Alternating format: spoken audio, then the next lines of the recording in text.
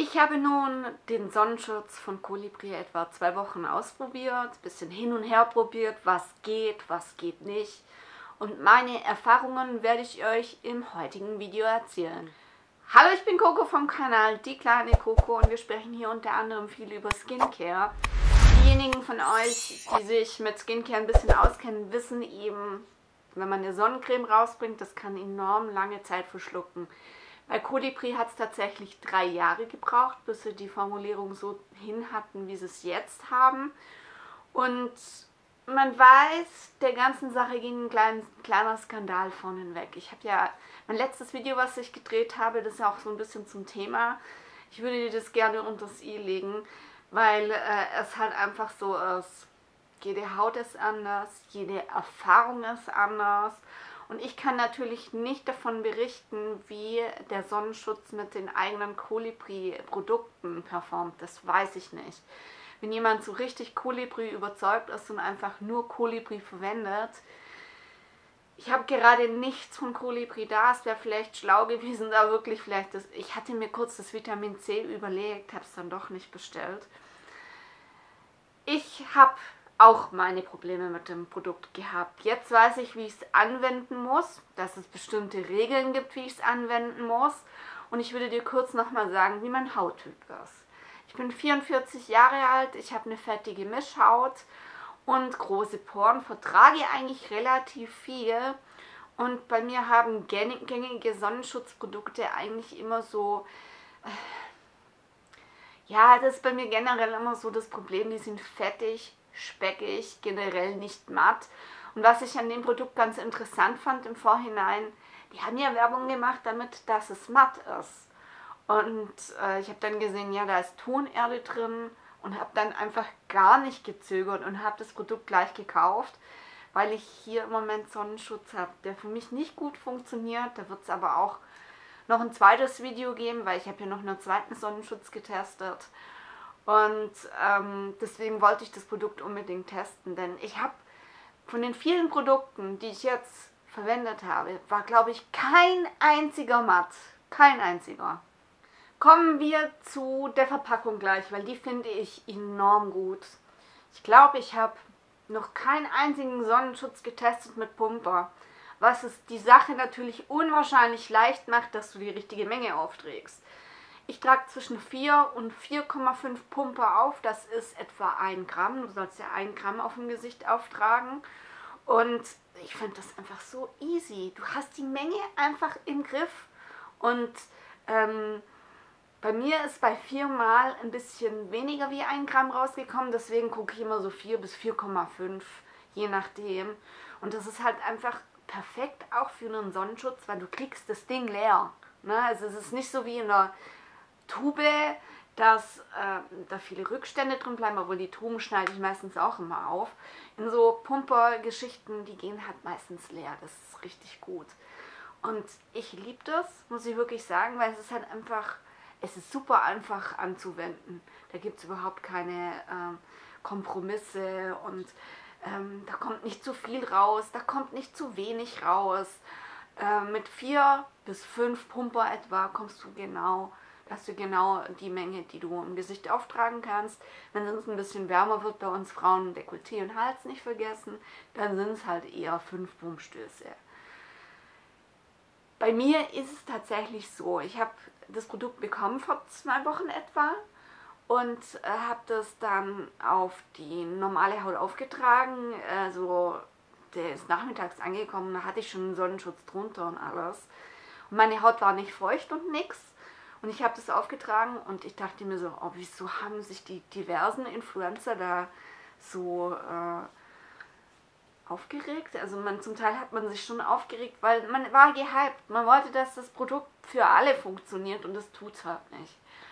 Und das hat funktioniert. Und ich weiß halt aus der Erfahrung heraus, Produkte mit Glycerin, die aber so gelig sind. Bei flüssig, flüssigen geht es lustigerweise.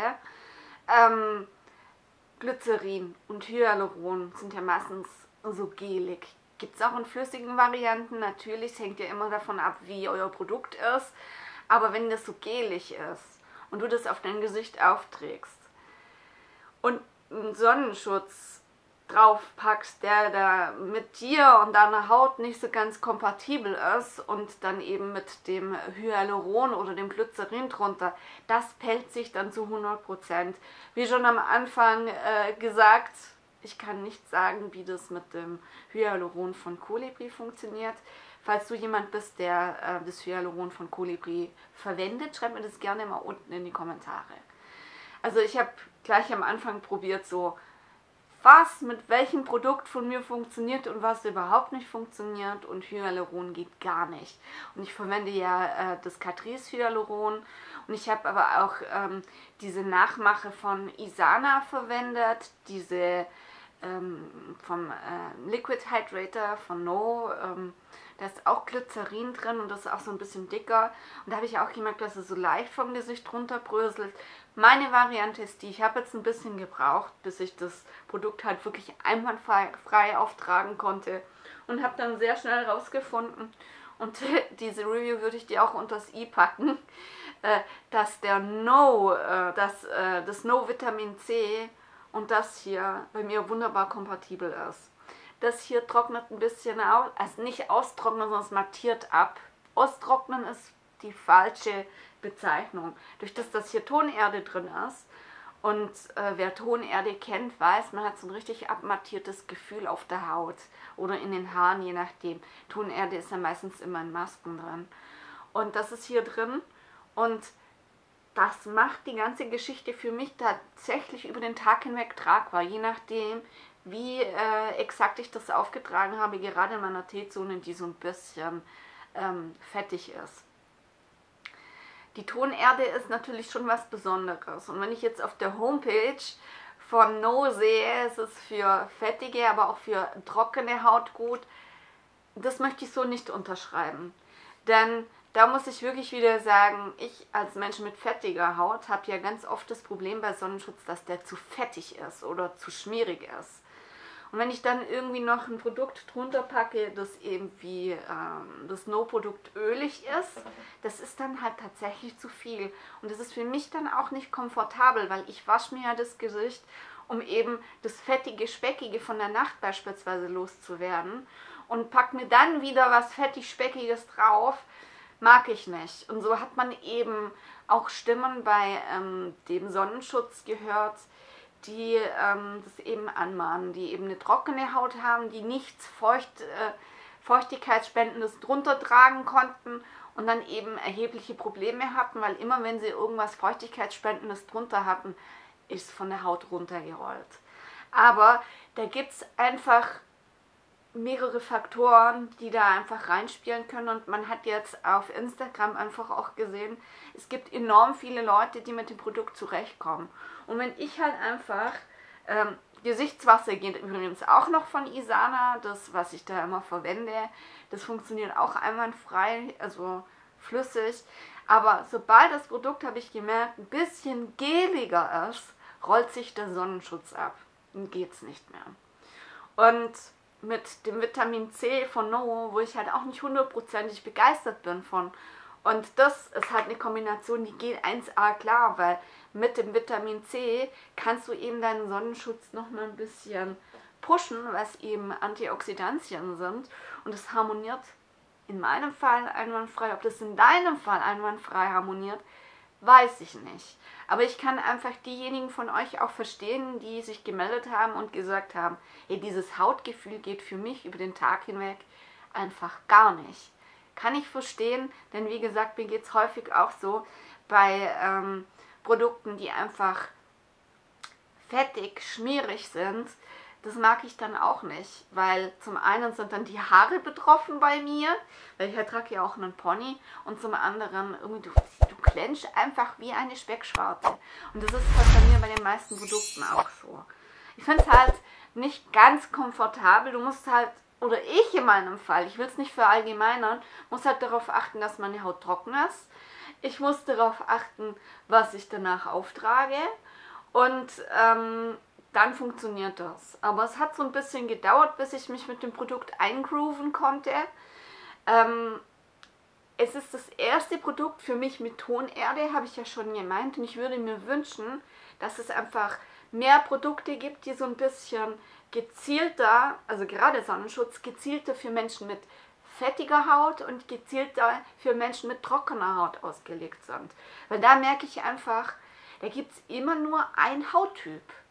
Und da kannst du halt komplett falsch liegen. Und wenn jetzt ein Hersteller hergeht und sagt, er macht zwei Varianten von Sonnenschutz, einmal für fettige Haut und einmal für trockene Haut, dann ist, glaube ich, einigen mehr geholfen, dass sie halt einfach dieses Komfortable auf der Haut halt einfach aufführen. Und das beachten ähm, Hersteller oftmals, gerade was den Sonnenschutz betrifft, nicht. Das ist halt auch ein extrem schwieriges Thema. Ich äh, bin hergegangen und habe mal bei Maggi auf der Seite geguckt, was für Filter sind denn drin. Ich kann euch die Seite von äh, der Magi, magi-venia.de wirklich empfehlen. Und sie hat ja mit dem Marek zusammen ähm, den Dirty Beauty Talk, der jetzt auf Eis gelegt wurde, aber der ist immer noch aktiv, glaube ich, auf dem Blog. Und die haben ja ganz viel über das Thema Sonnenschutz gemacht. Und wenn du ganz unten auf die Seite gehst, die ich dir verlinkt habe, da kannst du mal oben in die Suchleiste von dieser Liste von den äh, Sonnenschutzfiltern, äh, kannst du mal äh, einfügen, welche Filter denn in deinem Produkt drin sind. Und äh, da fangen die richtig guten Filter schon recht weit oben an. Also es ist halt wirklich ein wunderbar ausgelegtes Produkt. Und für diejenigen von euch, die da immer noch durcheinander kommen, ich finde es halt auch nicht okay von der Kosmetikindustrie. Ähm, es gibt Sonnenschutzprodukte. Es gibt Tagescremes mit UVA. Das ist eben auch so ein Tagescreme-Produkt, auch so ein Twitter-Produkt. Dann gibt es äh, Cremes, die eben einen Lichtschutzfaktor drin haben. Da ist wahrscheinlich irgendein minderwertiger Filter drin, keine Ahnung, aber da ist kein UVA-Schutz mit drin. Also da gibt es einiges, was man zu beachten muss. Meistens findest du die richtigen Produkte eben in der Drogerie, wirklich bei der Sonnencreme auch und nicht bei der Skincare. Wenn du da noch so ein bisschen unsicher bist, geh einfach zur Sonnencreme und äh, lass die Produkte, die bei der Skincare stehen, links liegen. Außer du nimmst das Produkt in die Hand und guckst mal, ob da irgendwo ein UVA-Siegel da ist. Ne? Also sind diese zwei Kreise. Und dann bist du nämlich auf der richtigen Seite. Dann hast du nämlich auch einen UVA-Schutz, weil ich kenne die Filter auch noch nicht auswendig. Ich gehe immer bei Maggi auf die Seite und gucke, welche Filter drin sind.